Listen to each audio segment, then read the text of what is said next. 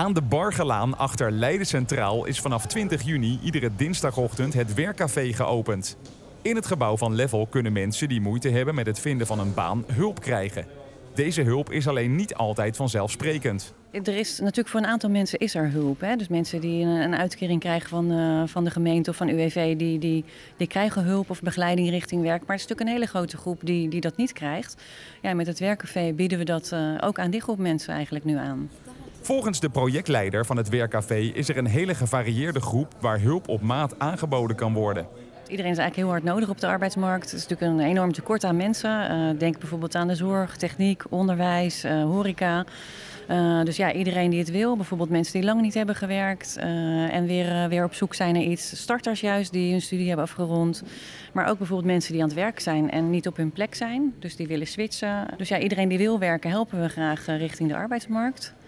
Nico Vermeer, adviseur bij het Werkcafé, zegt dat het concept eigenlijk wel iets is wat we uit het verleden al kennen. Vroeger, heb ik het over vroeger, maar had je het arbeidsbureau. En daar gingen mensen naartoe met een, met een hulpvraag voor ik wil werken.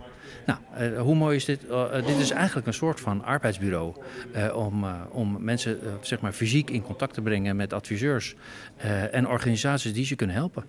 Dus vandaar dat je het ook ziet dat het al, al op de eerste dag al storm loopt. En dat is hartstikke gaaf. Naast dat er al veel mensen langskwamen, is het ook al gelukt om een match te krijgen tussen een werkzoekende en een werkgever. De werkgevers vragen aan mij, Nico, heb je alsjeblieft mensen voor mij? Nou, dat is mooi dat we ze hiermee kunnen helpen. En uh, vanmorgen heb ik dus iemand gesproken die uh, zoekt werk als chauffeur, taxichauffeur.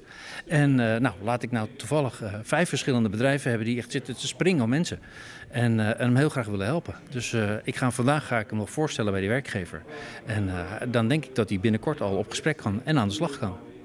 Vanaf 20 juni is iedereen welkom bij het werkcafé in het Levelgebouw en hoopt van Wieringen dat er passende hulp geboden kan worden. Uh, iedere week, iedere dinsdagochtend uh, van half tien tot half twaalf. Uh, nou, zonder afspraak en ja, gewoon binnenlopen zou ik zeggen.